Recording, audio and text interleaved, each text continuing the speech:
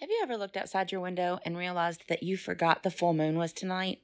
Well, here I'm going to give you three ways to celebrate the full moon that takes little to no planning. One of the ways that I really enjoy celebrating the full moon is to be able to set out any of my crystals that need to be charged and let them bathe in the moonlight overnight Usually I will do this in the grass and not on concrete, but we got some snow yesterday and it is very, very wet. So I'm just setting this out right now um, so that it can soak up the moon. It doesn't have to be in the grass, but typically that's what I like to do. That way the soil can also charge and cleanse the crystals. And this is my one of the easiest and one of my favorite ways to celebrate the full moon. And it's something simple. If you don't have a yard that you can set your crystals out, you can always set them in a windowsill inside your home. You can set them on a balcony or a patio.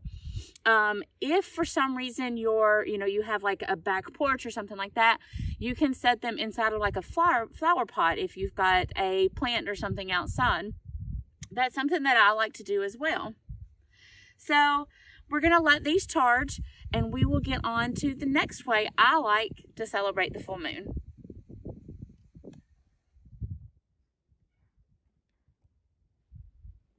Hi, my name is Shauna and I run a crafting crone on Etsy.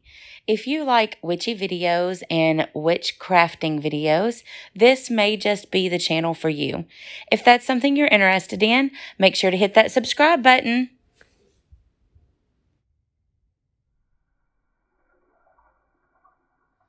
So the second way that I like to celebrate the full moon is by making moon water. I just take this jar that I found at the Dollar Tree and I fill it up with water from the faucet. Um, you can use filtered water if you want, spring water, it doesn't really matter. Um, just make sure that it's in a glass clear jar. And then I set this out with my crystals with the lid off to be able to soak up that full moon energy as well. Now, some of the uses that I like to use moon water for is for cleansing my crystals or things that need to be cleansed throughout the month to put in my baths if I'm having a if I'm having like a particularly bad day or there's something that I'm struggling with and I need to get rid of it, then I'll use it in my bath water. I've used it in teas, coffees, things like that. Um, it pretty much has a lot of different uses. Sorry, there's cars going by. Um, but it has a lot of different uses and it's really, really great. You don't need a whole lot. Just a few drops normally goes a long way. So this jar is the perfect size to sit out and gather up a little bit of that full moon energy. So the final way that I like to celebrate the full moon is by doing a releasing spell. Now, I like to do something pretty simple. I just take a piece of paper and I write down everything that I need to release in my life. Once I've done that, I normally pick a couple of things, or if there's just one large thing, that's fine as well. So for tonight's full moon, I'm going to be releasing all of the bad foods that doesn't make my body strong and healthy.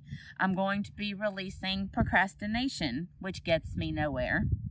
And then I'm going to get rid of a personal one that we're not going to disclose on camera. So what you're going to do is you're going to write this on a piece of paper. It doesn't matter what the paper is. It can be a scrap piece of paper.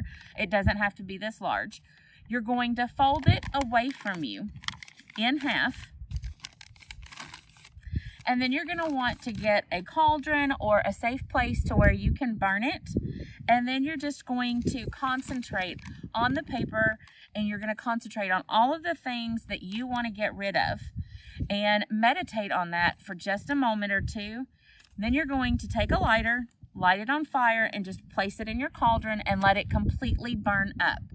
Let it dissipate and fly off into the cosmos and be rid of it. And as it's burning and as the ash is starting to fly away, and gather at the bottom of your pot. Imagine all of those things that you want to release from your life that no longer serve you, that no longer bring meaning and joy to your life. Imagine all those things burning away with this paper. So for today's video, I'm not going to actually burn this. I'm going to do this off camera because this is a personal um, ritual that I like to do. And so I do need to sit and meditate on this for a little bit.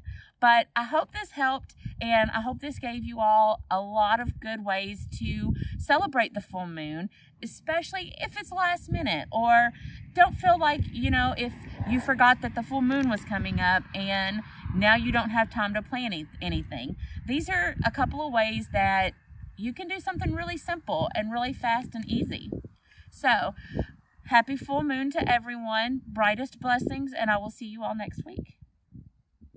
Bye.